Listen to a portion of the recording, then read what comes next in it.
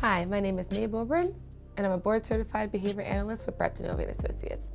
In this video, we'll be going over area F3 and G20 of the BACB 5th edition task list. Habit reversal training is an evidence-based, highly effective behavioral therapy for individuals with unwanted repetitive behaviors or habits.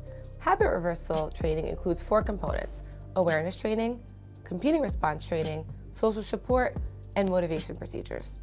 Habit reversal training has been successfully used to decrease speech disfluencies during public speaking, tics, and hair pulling. A speech disfluency is any disruption in normal flow of speech in public speaking. It can distract listeners and impact their overall performance as a speaker. The article comes from our BDA's very own Brittany Powick and Perrin 2020. The purpose of this study was to evaluate the effects of awareness training and competing response in reducing speech disfluencies during public speaking. Frequency data were collected for three forms of speech disfluencies, filled pauses, tongue clicks, and the inappropriate use of the word like through audio recordings.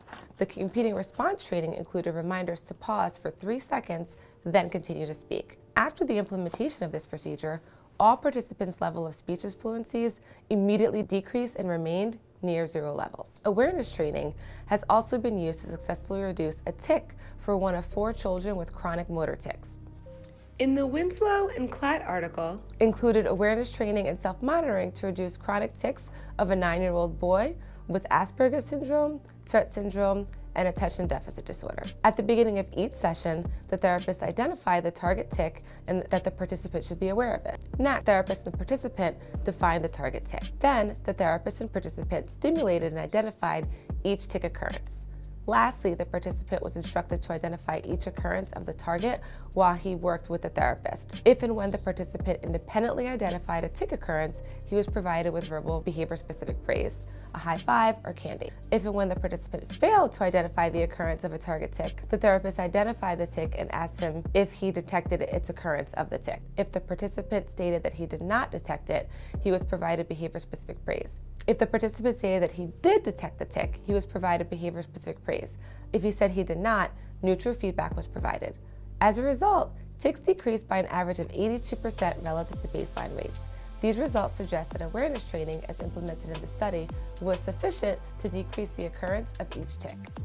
In the Rapp et al. article, only three components of habit reversal training were evaluated awareness training, competing response training, and social support. During awareness training, the participant was taught to detect every instance of hair pulling, describing what it felt like between his or her fingers and repeating stimulating the behavior without actually pulling hair. During the competing response training, the participants were encouraged to engage in a competing behavior, folding their arms, sitting on their hands.